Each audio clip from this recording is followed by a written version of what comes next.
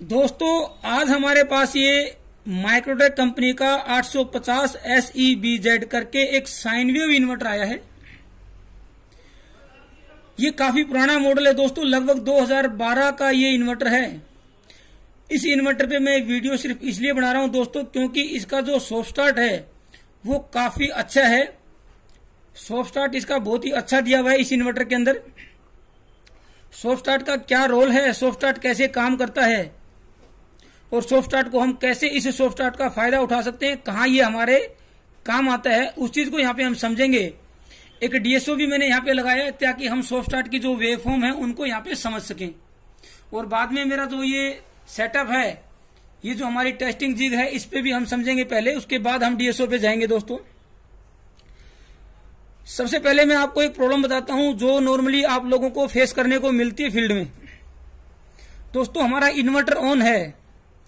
और inverter on है, हमारा बैकअप मोड पे लाइट नहीं है और इन्वर्टर ऑन है, उस कंडीशन में अगर हमने मोटर का स्विच ऑन कर दिया तो कई बार क्या होता है, हमारा इन्वर्टर ओवरलोड या शॉर्ट सर्किट की प्रोटेक्शन में चला जाता है। यानी कि तुरंत जो है बीप साउंड करेगा ओवरलोड दिखाएगा और बंद हो जाएगा। या फिर शॉर्ट सर्किट की कंडीशन में चला जाएगा। ऐसी कंडीशन में क्या होता है, अगर हमारी मोटर मेन्स मोड पे चल रही है और तुरंत हमारी लाइट चली जाती है तो उस केस में वो हमारा ओवरलोड पे नहीं जाता है, वो चलती रहती है, क्योंकि मोटर का जो मोमेंटम है, वो बना रहता है और मोटर करंट ज़्यादा नहीं लेती है। लेकिन अगर हमारा इन्वर्टर ऑन है और हमने मोटर को ऑन किया तो उस केस में मोटर हमारी बंद होती है। जैसे ही ऑन करते हैं तो मोटर और या भी कोई भी इंडक्टिव लोड है, वो आपका इनरस करंट लेता है स्टार्टिंग करंट लेता है, जो कि 200 से 300 परसेंट तक लोड लेता है। और इन्वर्टर के अंदर ये प्रोटेक्शन होती है कि जब 300 परसेंट जाएगा तो वो आपका शॉर्ट सर्किट माना जाएगा और वो उस प्रोटेक्शन में चला जाएगा। और 100 परसेंट से ऊपर जब जाता है तो ओवरलोड पे चला जाता है। तो जब 150 200 या 300 परसेंट तक लोड हमारा जाएगा तो हमारा इन्वर्टर प्रोटेक्शन पे चला जाता है। लेकिन रनिंग कंडीशन में ऐसा नहीं होता है। मेन्स मोड में हमारी मोटर चल रही है, लाइट चली गई तो मोटर का मोमेंटम बना हुआ था, उसने इंड्रस करंट या स्टार्टिंग करंट नहीं लिया तो हमारी रनिंग पे चलती रहती है।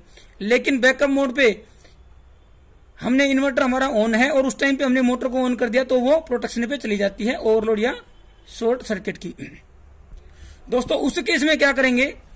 उस केस में आप कैसे ऑन कर सकते हैं? आप क्या करें? पहले इन्वर्टर को आप ऑफ़ कर दें और मोटर का जो स्विच है, उसको आप ऑन कर दें। उसके बाद अगर आप इन्वर्टर को आके ऑन करेंगे तो वो मोटर आपकी चलने लगेगी ओवरलोड या शॉर्ट सर्किट की प्रोटेक्शन पे नहीं जाती है। और वो भी उस केस में पॉसिबल है, जिस इन्वर्टर का सॉफ्ट स्टार्ट आपका काफ़ी अच्छा होता है। सॉफ्ट स्टार्ट क्या होता है उसको समझते हैं और फिर ऐसा कैसे पॉसिबल है उसको भी समझते हैं। दोस्तों, ये साइन वेव इन्वर्टर है। ये मैंने यहाँ पे क्या किया है दिखाता हूँ आपको। ये मैंने इसकी आउटपुट यहाँ पे कनेक्ट कर दिया जहाँ पे हमारा आउटपुट का वोल्ट मीटर है और ये हमारा लोड कनेक्टेड है।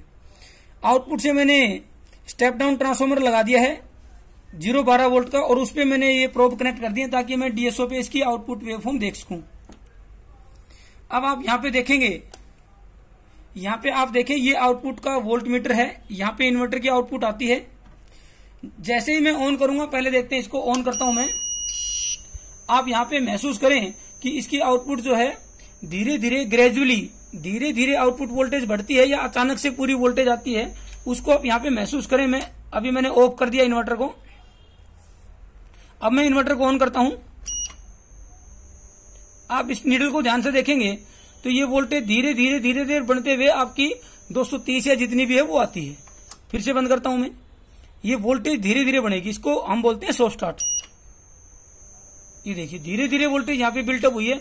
20 वोल्ट 50 वोल्ट 80 100 130 150 200 ऐसे 230 ऐसे करके ये वोल्टेज बनती है। इसको सो स्टार्ट बोलते हैं। ये सभी इन्वर्टर्स में होती है। कुछ में ये बहुत जल्दी ये जो है, आपकी 220 तीस तक आ जाती है। कुछ में टाइम ज़्यादा लेती है। तो जिसमें ज़्यादा टाइम लेती है दोस्तों, उसका सो स्टार्ट ज़्यादा होता है और वो लोड को आसानी से उठा सकता है, आसानी से उस लोड को बियर कर सकता है। मैं दिखाता हूँ, देखिए। देखिए, इसका सो स्टार्ट बहुत ही प्यारा है। ये मैं और आपको दूसरे तरीके से दिखाता हूँ। अभी मैं मेन साउंड कर देता हूँ। अभी मेन सेंस करेगा। देखिए मेन सेंस कर लिया है। अब ये मेन्स मोड पे है। चार्जिंग भी यहाँ पे आ गई है। अब आप आउटपुट वोल्टेज को देखें कि लाइट जैसे ही जाएगी बैकअप मोड पे ये आएगा। तो ये तुरंत आपका बैकअप मोड में आएगा तो ग्रेजुअली आएगा धीरे धीरे आएगा। देखिए, एक बार ये नीडल नीचे जाएगी, फिर से धीरे धीरे वोल्टेज ये बिल्टअप करेगी। ये देखिए, नीचे जाती है, फिर बिल्टअप करती है। ये भी सो स्टार्ट है चेंज ओवर जब हमारा यूपीएस आपका मेंस मोड से बैकअप मोड में जाता है तो उस केस में भी ये आपका सॉफ्ट स्टार्ट इसमें दिया हुआ है। ठीक है जी? ये इन्वर्टर मोड की मैं बात कर रहा था। अगर यूपीएस मोड पे मैं इसको कर देता हूँ, पहले इन्वर्टर मोड पे फिर से देखते हैं, ताकि हमारे को अच्छे से ये समझ में आ जाए। फिर हम इसको यूपीएस मोड पे भी करके इसको चेक करेंगे। ये अभी मेन्स मोड पे आ गया दोस्तों। अभी इन्वर्टर मोड पे है। जैसे ही मेन्स को मैं ऑफ़ करूँगा, ये आपका धीरे धीरे वोल्टेज बनेगी। देखिए नीडल पूरी नीचे जाती है, फिर से वापस आती है। अब मैं क्या करता हूँ दोस्तों, इसको यूपीएस मोड पे कर देता हूँ। इसका जो स्विच है उसको। दोस्तों, ये यूपीएस मोड पे है। एक बार फिर से हम यूपीएस मोड पे देखेंगे, फिर इन्वर्टर मोड पे देखेंगे, ताकि हमारी जो है ये क्लियरिटी आ जाए कि इसमें डिफरेंस क्या है, फिर स्कोप पे भी चलेंगे। यूपीएस मोड पे है मेन्स मोड पे भी चल रहा है, चार्जिंग कर रहे हैं। मैं इसको अभी तुरंत जो है दोस्तों, बैकअप मोड पे लेके आऊँगा। तो ये जो नीडल है, ये आपकी, यहीं से आपकी वोल्टेज जो है बिल्टअप हो जाएगी, बन जाएगी। बजाय कि ये नीचे जाके बिल्कुल दोबारा से सोप स्टार्ट करे। ये यूपीएस मोड पे, देखिए नीडल की तरफ़ देखें। ये यहीं पे वोल्टेज इसने बिल्टअप कर ली है, ताकि हमारा कंप्यूटर वगैरह जो भी आपके सोफिस्टिकेटेड जो डिवाइस है, वो रिबूट ना हो दोस्तों। अब क्या करता हूँ मैं, इसको दोबारा से मेन्स मोड पे कर देता हूँ। और इसका यूपीएस मोड है, उसकी बजाय इसको इन्वर्टर मोड पे मैं यहाँ पे दोस्तों कर देता हूँ। अब ये इन्वर्टर मोड पे है और यहाँ पे मेन्स पे इसकी मेन्स मोड पे है। अब दोस्तों मैं क्या करता हूँ, यहाँ पे जैसे ही इसको मैं बैकअप मोड पे लेके आऊँगा तो ये नीडल की तरफ़ आप देखेंगे तो ये बिल्कुल नीचे से स्टार्ट होके आएगी नीडल देखिए। ये नीडल बिल्कुल ज़ीरो पे जाती है और फिर से आपका जो है वोल्टेज बिल्टअप होती है, इसको सोफ स्टार्ट बोलते हैं धीरे धीरे आपका वोल्टेज बिल्टअप करना ये इन्वर्टर मोड पे था, पहले यूपीएस मोड पे मैंने आप लोगों को बताया। अब दोस्तों क्या करेंगे? इसको डीएसओ पे हम समझने की कोशिश करते हैं कि ये सारा इंपैक्ट जो है डीएसओ पे कैसे दिखाई देता है? दोस्तों डीएसओ पे ये वेवफॉर्म है इन्वर्टर की आउटपुट की इन मेंस मोड यानी कि अभी ये मेंस मोड पे है चार्जिंग मोड पे है, यानी कि इनपुट को इसने बाईपास करके आउटपुट पे निकाल दिया है। तो ये बेसिकली इनपुट की ही वेवफॉर्म है जो बाईपास होकर हमारे को इन्वर्टर की आउटपुट पे मिल रही है। अब दोस्तों, जैसे ही मैं इसको मेंस को डिस्कनेक्ट करूँगा तो ये आपका बैकअप मोड पे आ जाएगा। लेकिन ये वेवफॉर्म जो है ग्रेजुअली यानी कि धीरे धीरे बिल्टअप होंगी, जिसको हम सॉफ्ट स्टार्ट बोलते हैं, ये अभी इन्वर्टर मोड पे है। देखिएगा ध्यान से। ये देखो, ये जो वेवफॉर्म है, ये धीरे धीरे बिल्टअप होके ज़्यादा हुई है, कम से ज़्यादा। यानी कि वोल्टेज जो है, ज़ीरो, बीस, तीस, पचास, सौ, दो सौ, ऐसे करके ना वोल्टेज धीरे धीरे आपकी बिल्टअप हुई है। ये इन्वर्टर मोड पे है। इसको मैं और भी अच्छे तरीके से इसको समझाने की कोशिश करूँगा ताकि हमारे को और अच्छे तरीके से ये समझ में आ जाए। लेकिन एक बार फिर से इसको देख लेते हैं। जैसे ही मेंस को मैंने डिस्कनेक्ट किया तो बैकअप मोड पे बैटरी मोड पे इसकी आउटपुट वोल्टेज जो बनती है, वो धीरे धीरे बिल्टअप होती है। ये इन्वर्टर मोड पे था। और आपका यूपीएस मोड पे कैसा होता है, मैं इसको यूपीएस मोड पे पहले कर लेता हूँ। ये मैंने यूपीएस मोड पे इसको कर दिया है। और अभी मैं इसको चार्जिंग मोड पे भी डाल रहा हूँ। अभी ये चार्जिंग पे आ गया है। और मेन्स को बाईपास किया हुआ है। अब जैसे ही मैं मेन्स को डिस्कनेक्ट करूँगा तो यहाँ पे ये सॉफ्ट स्टार्ट नहीं दिखाएगा। तुरंत वोल्टेज बिल्टअप हो जाएगी, अब आप महसूस कर सकते हैं। ये देखिए वोल्टेज धीरे से एकदम से नहीं इसमें बिल्टअप हुई। एकदम से बिल्टअप हुई है ग्रेजुअली धीरे धीरे सॉफ्ट स्टार्ट के साथ ये वोल्टेज नहीं बनी है, ताकि हमारे कंप्यूटर वगैरह जो भी आपके सोफिस्टिकेटेड जो आपके अप्लायंसेज हैं, वो रिबूट ना हो, वो एकदम से बंद ना हो। इसलिए ये यूपीएस मोड पे इस तरह का ये फीचर दोस्तों होता है। अब इसको और भी अच्छे तरीके से समझने के लिए मैं क्या करता हूँ दोस्तों, इसको मेन्स मोड पे डाल देता हूँ, दोबारा से चार्जिंग मोड पे, और ये वेव फॉर्म को और क्लियर करता हूँ। इसके जो सेकंड पर डिवीज़न है, उसको मैं यहाँ पे दोस्तों कर देता हूँ, कम। सेकंड पर डिवीज़न को कम कर दिया, ताकि हमारे को यहाँ पे चेंज ओवर होगा तो यहाँ पे इसको हम अच्छे तरीके से, यहाँ पे हम समझ सके दोस्तों। अभी ये मेन्स मोड पे है। अब मैं तुरंत इसको बैकअप मोड पे लेके आऊँगा मेन्स को डिस्कनेक्ट करूँगा। और अभी जो इसकी मोड है, वो आपकी इन्वर्टर मोड है। यूपीएस मोड नहीं है इन्वर्टर मोड है। और मैं इसको होल्ड भी करने की कोशिश करूँगा ताकि हम इसको अच्छे से समझ सकें। ये देखिए दोस्तों, ये यहाँ पे लाइट आई हुई थी मेन्स मोड पे था।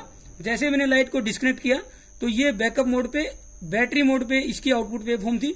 ये स्टार्टिंग पे देखिए धीरे धीरे धीरे धीरे वोल्टेज बिल्टअप होना यहाँ पे, ये आपको यहाँ पे दिखाई दे रहा है दोस्तों। और अच्छे तरीके से इसको मैं यहाँ पे आपको बढ़ा करके दिखा देता हूँ। ये देखिए, ये आपका मेन्स मोड था। ये यहाँ पे चेंज ओवर है और एकदम से इसकी जो वोल्टेज है, वो धीरे धीरे इसका जो साइकिल है, उसका एम्पलीट्यूड बढ़ते बढ़ते बढ़ते बढ़ते आपका काफ़ी टाइम में जाके ये देखिए। काफ़ी टाइम जो है, इतने टाइम के बाद ये है, इसने पूरी वोल्टेज बनाई है। इसमें क्या होगा कि अगर आपका कोई लोड है, जिसका इंडस करंट ज़्यादा है तो स्टार्टिंग में हमारे को वोल्टेज कम मिली। मान लीजिए 20 वोल्ट मिली।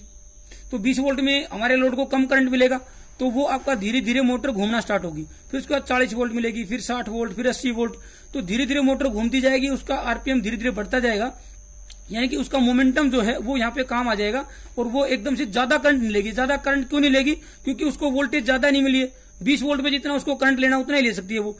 फिर धीरे धीरे चालीस, साठ, अस्सी तो इतने टाइम में धीरे धीरे उसको पूरी वोल्टेज मिलेगी, तब तक वो जो है आपका पूरे मोशन में आ चुकी होती है तो वो उसका इंडस करंट नहीं ले पाएगी। इसलिए वो मोटर आपकी यहाँ पे चल जाएगी।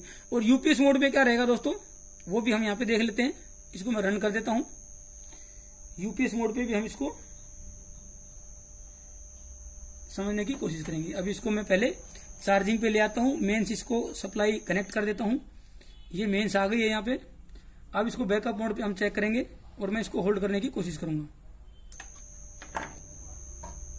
ये देखिए, अब ये यूपीएस मोड पे था तो इसने ग्रेजुअली सॉफ्ट स्टार्ट इसने नहीं लिया और इस केस में देखिए, ये आपकी वोल्टेज तुरंत बिल्टअप हो गई है, जो भी इसका चेंज ओवर टाइम है 10 मिली सेकंड या 20 मिली सेकंड जो भी है।